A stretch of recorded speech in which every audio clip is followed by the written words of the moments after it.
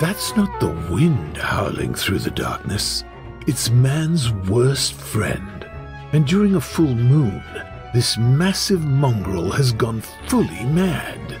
It's the nine and a half foot animated immortal werewolf, and he's ready to huff, puff, and blow your whole house down.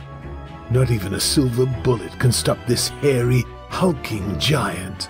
His plastic body ripples with realistic detail, supported by a sturdy metal frame, and dressed in a torn buffalo plaid shirt and tattered blue pants. His piercing LCD LifeEyes dart from side to side, wide with insatiable hunger.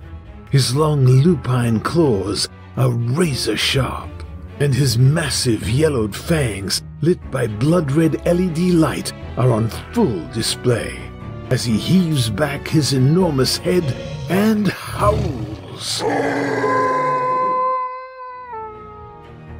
Securely set on an X-frame base, the immortal werewolf stands tall on hind legs, his large, powerful paws anchoring him to the dirt, digging in with frightening force.